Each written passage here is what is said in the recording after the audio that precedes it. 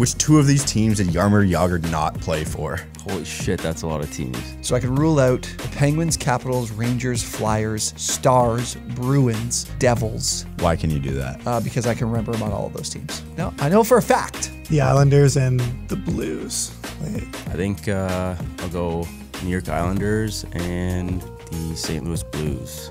Final answer. Yeah. The ones that are sticking out to me are I don't think I've ever seen him play for the Blues. I want to say I've seen him play for the Flames, but I almost also think I'm thinking of somebody else. I think he's played for the Panthers. So my three are the Blues, the Islanders, and the Flames. I only get two. yeah, Islanders and Blues. I think he's played for the Flames. I'm going Islanders and Blues. Good work, Tyler. You're correct. Dang!